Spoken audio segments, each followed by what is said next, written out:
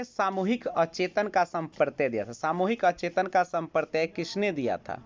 तो पहला फ्राइड, दूसरा यूंग, तीसरा एटलर, चौथा सलीवन। तो सही आंसर इसका है दो नंबर ऑप्शन यूंग। इसका सही ऑप्शन होगा यूंग, यानी दो नंबर जो ऑप्शन है बिल्कुल सही आंसर होगा और वह होगा डैश ने, यानी यूंग ने सामूहिक अचेतन का संप्रत्यय दिया था।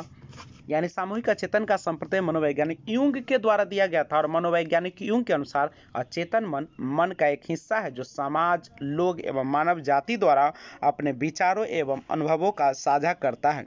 अचेतन वह स्थिति है जो हमारे मन एवं व्यवहार में होती है, परंतु सामान्यता प्रदर्शित नहीं होती। किसी विशेष परिस्थिति में ही वह प्रदर्शित होती है। समान आत्मानुभूति, सामाजिक सुरक्षा, शारीरिक सुरक्षा यानी ये सब जो होते हैं, वह सामूहिक अचेतन के अंतर्गत आते हैं। तो आइए क्वेश्चन नंबर 104 की ओर बढ़ते हैं।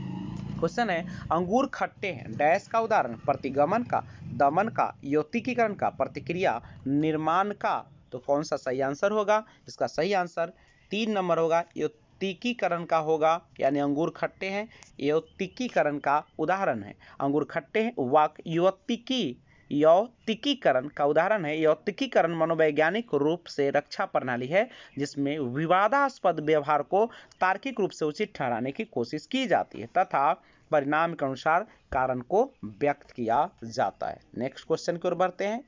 105 अधिगम का क्रिया प्रसूत अनुबंधन सिद्धांत जो है डैश द्वारा दिया गया था। क्रिया प्रसूत थोंडाइक के द्वारा पावलॉक के द्वारा, टोलमैन के द्वारा, स्किनर। तो क्रिया प्रसूत जो है, वह दिया गया था स्किनर महोदय के द्वारा। तो सही आंसर हो जाएगा, चार नंबर ऑप्शन जो होगा, बिल्कुल सही होगा, और वो है स्किनर महोदय।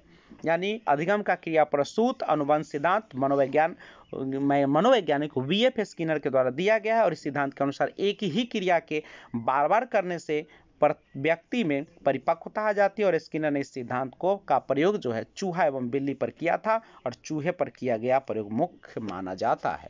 तो अब हम लोग उस पड़ाव पर आ गए हैं जहाँ आपको दी जाती है हर वीडियो के लास्ट में एक एच डब्ल्यू और आज का एच डब्ल्यू यही है। आप कमेंट बॉक्स में आंसर देंगे। औसत बुद्धि वाले बालकों की बुद्धि लब्धि यानी आई क्यू इंटेलिजेंस क्वेश्चन जो होते हैं डैश के बीच होते हैं। औसत बुद्धि वाले बालकों की बुद्धि लब्धि वह कितना होती है? यानी किसके बीच होती है? क्या सत्तर से अस्सी के बीच होती है? पचास से नब्बे नब्बे से एक सौ नौ, की एक सौ दस से लेकर एक सौ उनतीस के बीच होती है। तो ये था आज का एच डब्ल्यू जय हिंद।